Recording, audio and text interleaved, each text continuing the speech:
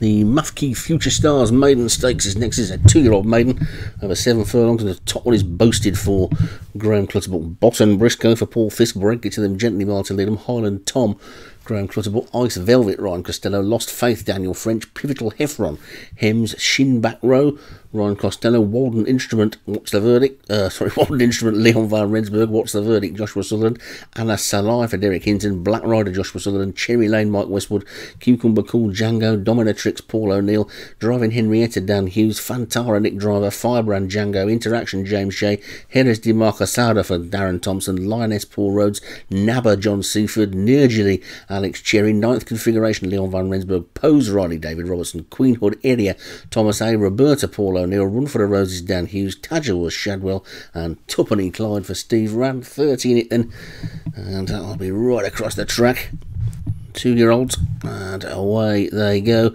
And no turns, so it shouldn't be too much of a problem for anybody. It's Queen Hood area, who's probably just the early leader. Black Rider down on this near side going well, but lost faith in the light blue cap and the dark blue jacket. Probably the leader overall up the centre of the track with Ice Velvet and Nabba. Also right over on the far rail there, that Looks like it's Jerez de Mercasado and Run for the Roses, but they're spread right across the track here. Then and Lost Faith is just about the leader from Ice Velvet in the white jacket, the yellow jacketed Nabar on their far side, right over on the far rail. Jerez de Mercasado, the one down this side is Pose Riley. Run for the Roses, I think, is either the one behind that one or that's Queen Hood area. Those two easily mixed up, but it's Ice Velvet in the lead from Lost Faith. Jerez de Mercasado.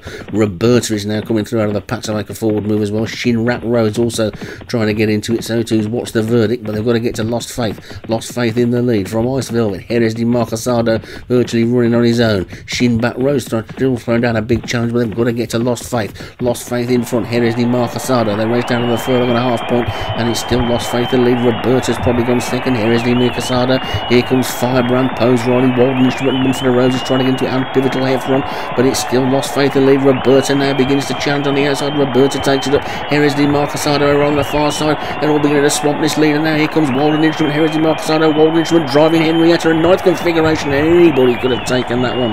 The post came up really quickly. And I'm not sure who's won that. I think Leon might have done. I'm not sure which one.